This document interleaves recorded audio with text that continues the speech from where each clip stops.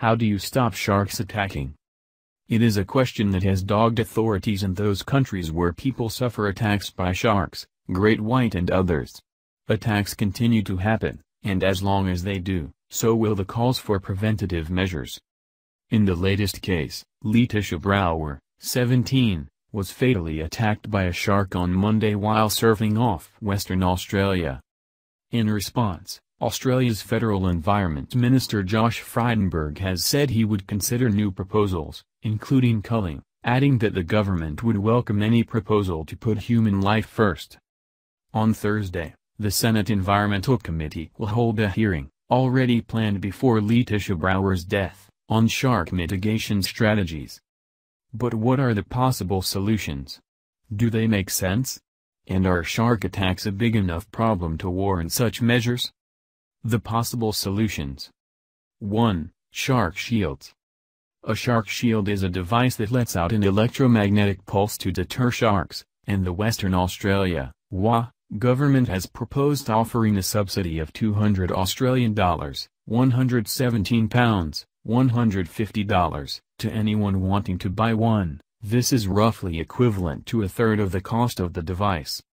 On the other hand, the WA opposition says shields would remain prohibitively expensive to most people, even with a discount. The University of Western Australia's Oceans Institute has been tasked with testing different shark deterrents by Australia's federal government.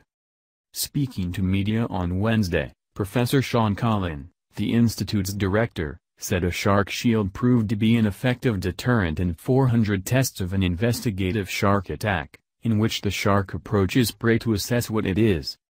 However, he said the shields proved ineffective in ambush attacks in which the shark swims at speed from deep on seeing a silhouette, possibly of a surfer. 2. Shark nets. A shark net is stretched through the water to try and separate swimmers and surfers from what may try and approach them. They are not new at all, having been used across Australia for decades. The New South Wales government ran a trial with a net from 2015 to 2016 and, in one aspect, it proved successful, it caught 133 sharks in that time. The downside? A government report showed 615 other marine animals were caught, including 90 threatened or protected species. Close to half of them died after being caught in the netting. The nets have been called cruel by campaigners, and have been cut by activists. 3. Drum lines and culling. This method, too, has been attacked as cruel. It is a baited hook suspended underwater and tied to a float on the surface of the water. It is also anchored to the seabed, meaning the shark has nowhere to go once it has taken the bait. Larger sharks are often shot, smaller ones released. It was a policy pushed in Western Australia under the state's previous government and has been used in other Australian states. There was some controversy that drum lines were not put in place on the beach where Laeticia Brouwer died. But many also question their effectiveness, including the government now in place in WA. On Tuesday, the state's fisheries minister Dave Kelly told ABC, we made it clear in opposition that we don't see the merit in automatically deploying drum lines, because they don't actually make our beaches any safer. We want to focus on individual shark deterrence, which can actually provide genuine protection for the people who are most at risk. The possibility of an active cull, not just killing sharks caught in drumlines, was one raised by Federal Environment Minister Josh Frydenberg on Wednesday. And while Australia's government is committed to a program of conserving shark populations, and proposals of culls are generally met with protests, there is some support for a targeted cull. An editorial in the centre-right The Australian newspaper by its surf writer, written after Laeticia Brouwer's death, said our insane shark conservation policies have cost another life, adding that there was blood on the hands of the government. There are plenty of solutions on the table, but just how big a problem are shark attacks in Australia? When Laeticia Brouwer was attacked near Esperance on Monday, she became the 15th person to be killed by a shark in Western Australia since 2000, but the first in the country since June last year. The number of shark attacks in Australia, including fatal and non-fatal, has risen over the past century, but in a way that is consistent with how Australia's population has grown.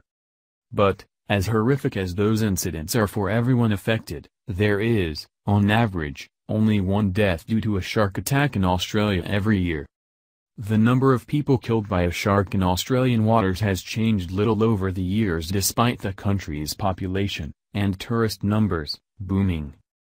In 1950, when there were 8.3 meters people living in Australia, two people were killed by sharks. Last year, with a population of more than 24 meters, there were still only two fatalities. John G. West, who runs the Australian Shark Attack File, which reports all attacks for the Taronga Conservation Society, says the chances of being killed by a shark now are much slimmer than in previous years.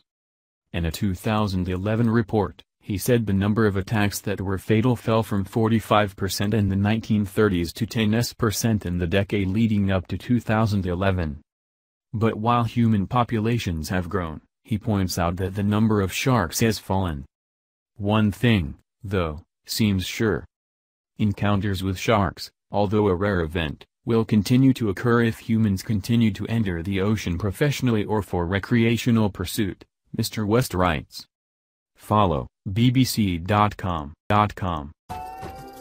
Thanks for watching. Please subscribe SH channel. Goodbye and see you again. You again.